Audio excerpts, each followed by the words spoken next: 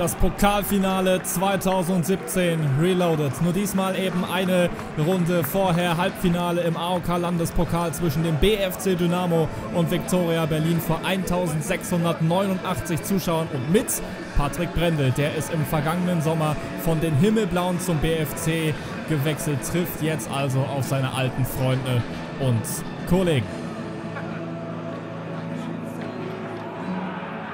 Die Viktoria in den himmelblauen Trikots von rechts nach links. Es dauerte ein wenig, bis die Partie an Geschwindigkeit gewann. Dann aber Geiretz und Atici und die erste gute Möglichkeit der Partie durch Marco Schikora.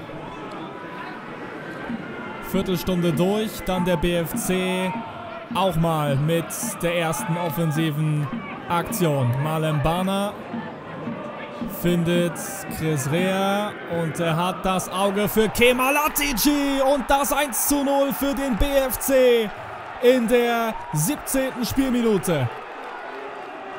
Der Winterneuzugang von Lok Leipzig, der im Viertelfinale bereits gegen Blau-Weiß getroffen hat. Jetzt hier mit dem ersten Tor der Partie.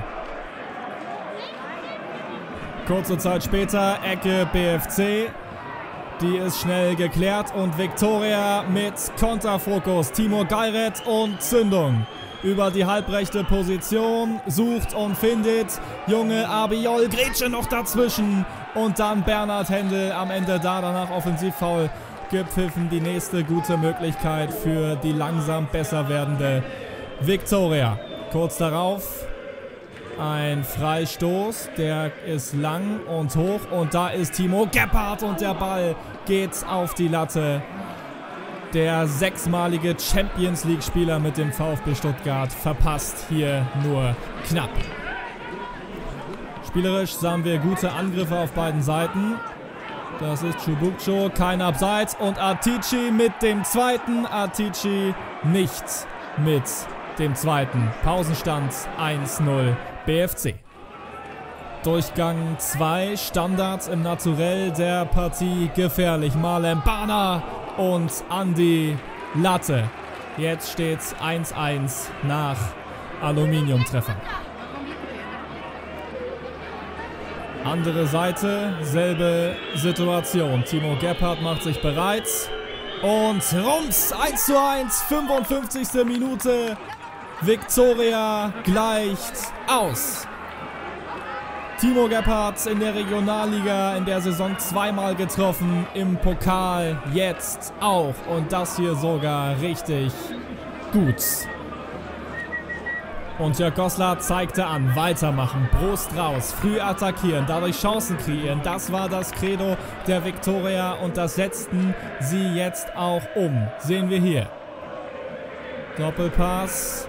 Dann Scharkowski bricht durch über die rechte Seite. Scharkowski. Ein Schuss getarnt als Flanke. 90 Minuten rum, 1 zu 1. Es hieß einmal kollektives Luftholen für die Verlängerung in einem kräftezehrenden, spannenden Halbfinale gehen wir rein. 102. Minute, Eckball, BFC und wir haben da so eine Szene aus Durchgang 1 noch im Kopf, wo eine Ecke von Dynamo direkt in einen Konter der Viktoria mündet. Und so war es hier auch. Langer Ball auf Timo Gebhardt. Gebhardt gegen Rausch, der lässt den liegen und setzt den dann knapp wenige Zentimeter links am Kasten vorbei. Zweite Halbzeit der Verlängerung. Die Gäste betreiben einen riesen Aufwand. Luftloch von Brendel, vom ehemaligen Viktoria-Spieler. Wir haben eingangs über ihn gesprochen. Und das öffnet die Tür für Nick Amatei. Schakowski.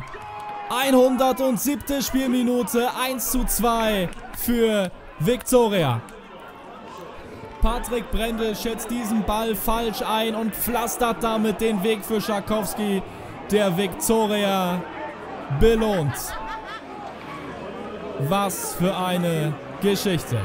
In der Folge das Motto von Dynamo, volles Rohr, Offensive, das bringt Chancen für Viktoria. Timur Geiret, Geiret, wunderschöne Bewegung, dann will er den unbedingt mit dem linken reinbringen. Bleibt beim 1 zu 2. Und es sollte nochmal richtig spannend werden. 100 und 19. Minute. Der BFC nochmal über Brennstedt. Bringt den Ball in die Mitte und von da kommt er natürlich zu Patrick Brendel und er hat die riesige Möglichkeit, seinen Fehler wieder gut zu machen. Setzt den ans Lattenkreuz. Chance lebt noch. Atici probiert über die rechte Seite noch was zu initiieren.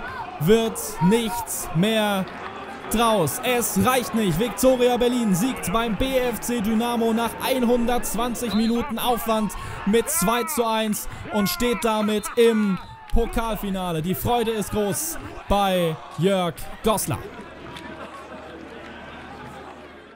Ja, weißt du, das sind genau diese sportlichen Herausforderungen, die ich mag.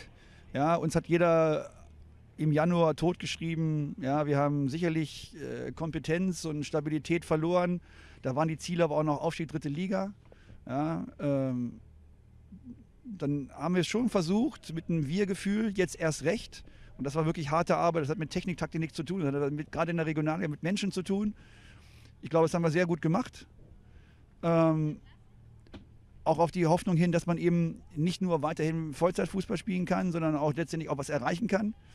Und dann ist das schon ein innerer Vorbeimarsch, ja, wenn man ähm, dann auch so in die Rückrunde startet. Sicherlich auch wieder eine Entwicklung ertragen muss, dass man letzten fünf Spiele, aber da sind auch personell begründete Dinge, äh, vielleicht nicht gewonnen hat, aber wir kriegen mit dem Abstieg nichts zu tun. Und dass man dann nochmal das Jahr beenden kann mit einem Titel, ist, also, ich will nicht von Genugtuung sprechen, das ist einfach eine Bestätigung unserer guten Arbeit. Wir hatten genug Möglichkeiten, das Ergebnis in die Richtung zu, zu, zu drücken, dass wir halt äh, in den 90 Minuten halt äh, weitergekommen wären. Aber das ist nur kein Wunschkonzert. Wir kriegen nur einen Ausgleich, müssen dann über die 120 Minuten gehen.